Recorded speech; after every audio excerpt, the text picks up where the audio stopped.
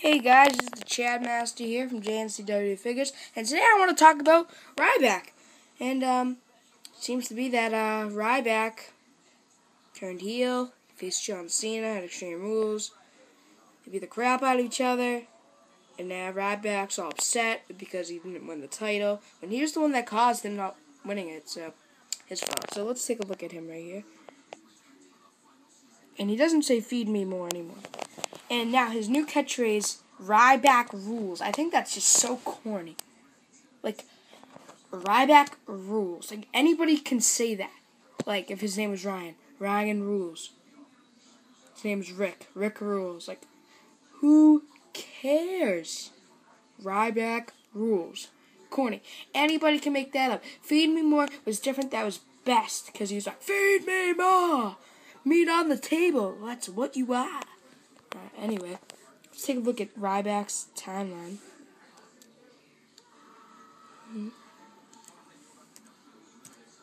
he first came to WWE. And see some. Uh,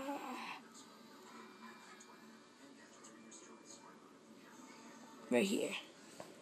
See the guy right there? That's Ryback, also known as Skip Sheffield. Uh, right there. Skip Sheffield. His real name's Ryan Reeves, though. On Nexus. On Nexus. Then he came to WWE.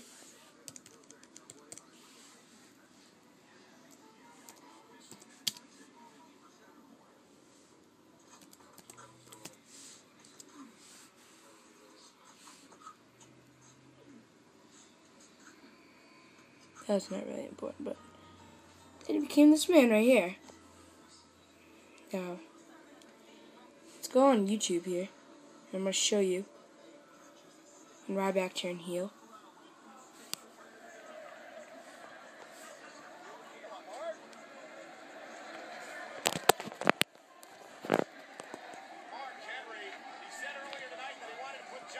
Maybe let's get a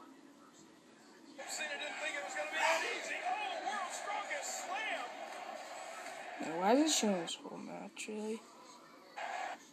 Oops. Who's gonna help him up? Look, look at this. Intimidating.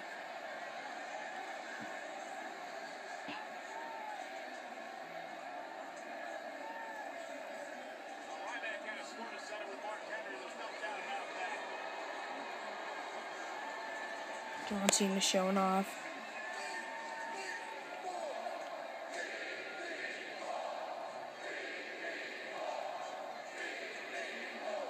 And Cena starts doing it.